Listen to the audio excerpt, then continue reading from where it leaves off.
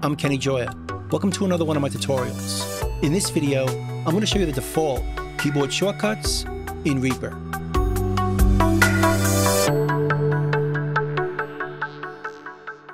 Now in this video, we're going to go over the View menu default keyboard shortcuts. And we'll start with the master track. And on PC, it'll be Alt Control M, and on Mac, it'll be Option Command M. And if we hit that keyboard shortcut, it opens up the master track over here, where we can adjust the master track level, the pan, adding effects, and so on. And what's great about the keyboard shortcuts in this menu is that the action is going to toggle. So if we hit it again, it hides the master track. So it's a great savings on screen real estate, where we could hide it when we're not using it, hit the keyboard shortcut when we want to use it. And the next action is the tempo envelope. And the keyboard shortcut on PC is Alt T, and on Mac, it's Option T. Hit the keyboard shortcut, and that opens up the master track again, but it also shows the tempo envelope right here. Hold down Shift to create some points, and we can readjust our tempo on the fly, like this. Or just view and hide it with the keyboard shortcut. Now you notice it doesn't hide the master track unless we use the master track keyboard shortcut. But if we trigger the tempo envelope keyboard shortcut, it opens it up and shows us the envelope. But we can still toggle it with that keyboard shortcut and hide the master track with the other keyboard shortcut. The next action is the mixer. And the keyboard shortcut on PC is Control M, and on Mac, it's Command M. Hit that keyboard shortcut, and it opens up the mixer down here. Now the mixer can appear in the dock like this, on the bottom, on the left side, the right side, or the top.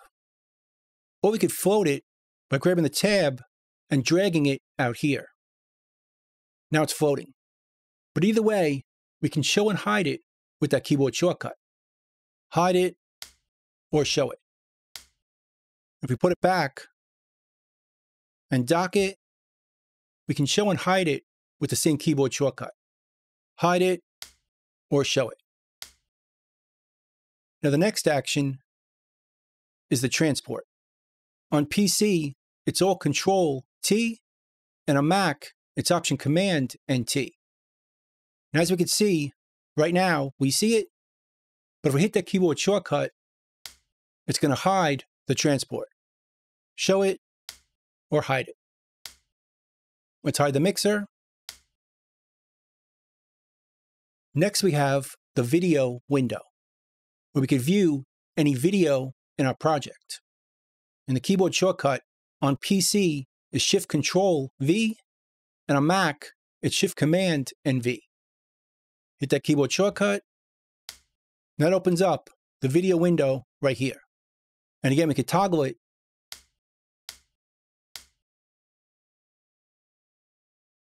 And next we have the Docker. On PC, it's Alt D, and on Mac, it's Option D. Now, if I hit it right now, it doesn't do anything because I don't have anything in the Docker. Let's reopen the video window and let's dock this window.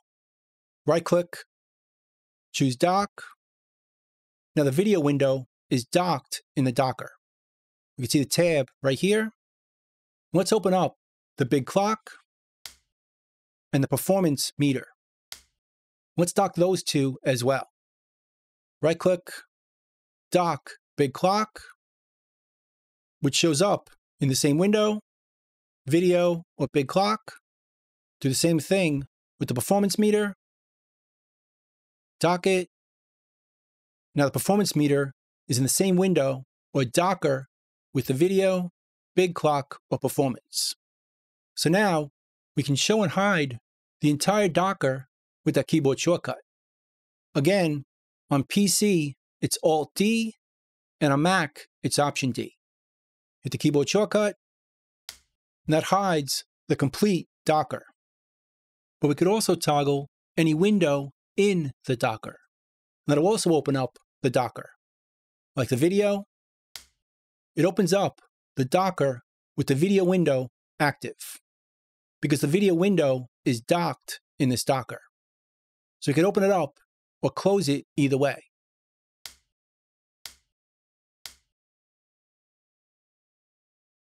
And over here, we have the toolbar Docker.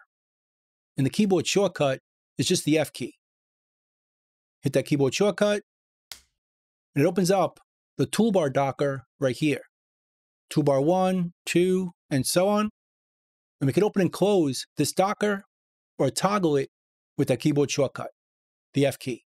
Close it or open it. Next, we have the Media Explorer. On PC, it's Alt Control X, and on Mac, it's Option Command and X.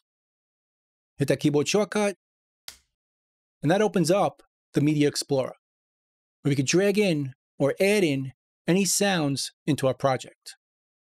And it toggles with the same keyboard shortcut. Or we could dock it, just like any other window in Reaper, by right-clicking right here. And it's still going to toggle whether it's docked or not. Then we have the routing matrix. On PC, it's Alt-R, and on Mac, it's Option-R. Hit that keyboard shortcut. That opens up the routing matrix for this project. Again, we can toggle it with the same keyboard shortcut to hide it or show it that easily. Then we have the project Media Effects Bay, which on the PC is Control B, and on Mac is Command B.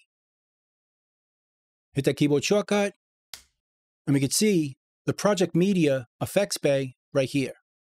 We can see the source media, media items, effects, and so on. Again, we can hide it with the same keyboard shortcut or show it that easily. Then we have the track manager, which on the PC is Shift Control M, and on the Mac, Shift Command M. Hit that keyboard shortcut, and that opens up the track manager right here. We can hide our tracks or show them.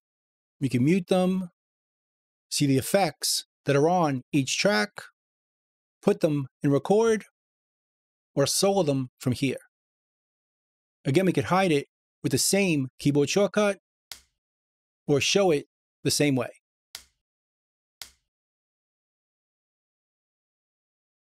Then we have the screen sets or layouts. On PC, it's Control E, and on Mac, it's Command E. Hit that keyboard shortcut, and we can see our screen sets or layouts in this window. We can see the Windows ones where we could adjust these variables or the track screen sets from here, where we could save these variables. And we could also, by default, save these screen sets using Shift F7 through F9, or recall them with F7 through F9. And do the same with the track views. Save them with Shift F4 to Shift F6, and recall them with F4, F5, and F6. But notice, we still have 10 slots to use, but by default, we only have keyboard shortcuts for the first three available. Although we could change that right from here. And again, we can close this window with the same keyboard shortcut. Show it or hide it. Now, because the view menu is pretty long, I divided this video into two parts.